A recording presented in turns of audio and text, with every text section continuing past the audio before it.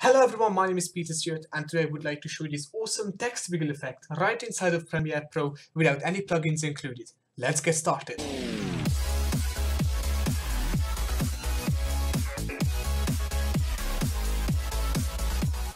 So to make the text wiggle effect in Premiere Pro is really simple. The first thing what you want to do is start with a title, go to title, new title, uh, default scene, rename it text, or um, if you are doing this to a picture, then you just drag it onto the picture.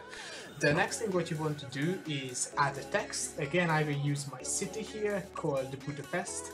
I will use the font called Bebas or uh, I don't know how to pronounce it, but you can download it free in the video description below.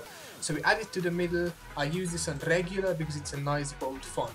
I close it in, get the text and put it into my timeline and as you can see it's in the middle, it's centered, it's all nice and thing.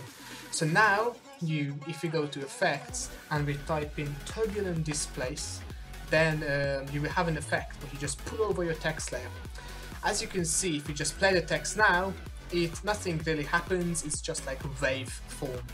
So what you want to do is hit the stopwatch next to the evolution icon and the first point at the beginning and go to the end of your clip, um, find your end point, hit it and put in this code.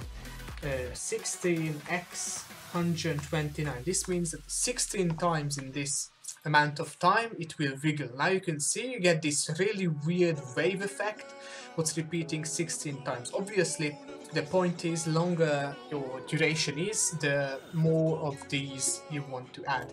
Now you go back to amount, you put down it to 10, you go size to 10 and hit enter and, and as you can see we are done with this awesome um, jitter wiggle effect right inside of Premiere Pro without any plugins whatsoever. If you like this video, please give it a like, subscribe, and see the next video, what's coming the next week.